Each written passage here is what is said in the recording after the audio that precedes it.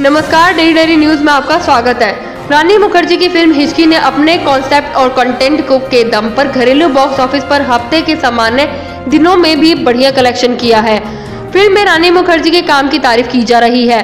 सिद्धार्थ भी मल्होत्रा के निर्देशन में बनी रानी मुखर्जी की फ़िल्म हिचकी ने घरेलू बॉक्स ऑफ़िस पर इस हफ़्ते लगातार दो करोड़ से ज़्यादा का कलेक्शन किया है।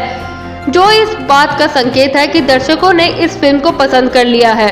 अब फ़िल्म का net India collection 22 crore 17 lakh रुपए हो गया है।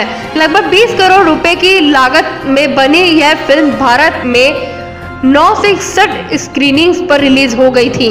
माना जा रहा है कि हिचकी पहला हफ़्ता पूरा होने तक 25 करोड़ का कलेक्शन कर लेगी, लेकिन फ़िल्म की वीकेंड में पहले की तरह कलेक्शन मिलने की उम्मीद नहीं है।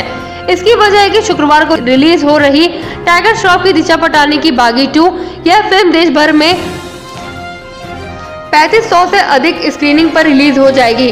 और मार्केट में फ़िल्म कह चर्चा भी जोरदार ढंग से हो रही है। ऐसे में रानी की हिचकी को माउथ पब्लिसिटी के ज़रिए ही फ़ायदा मिल सकता है। बताते चले कि हिचकी एक ऐसी टीचर की कहानी है, जिसे बोलने में दिक्कत है, लेकिन फिर भी वह क्लास में बदमाश बच्चों को सुधारने की चुनौती स्वीकारती है। रानी के इस रोल को बखूबी निभाया है। वहीं दूसरी ओर अजय देवगन की एक्शन थ्रिलर फ़िल्म रेड ने घरेलू बॉक्स ऑफ़िस पर दूसरे हफ़्ते में अपना प्रदर्शन ठीक ठाक जारी रखा है।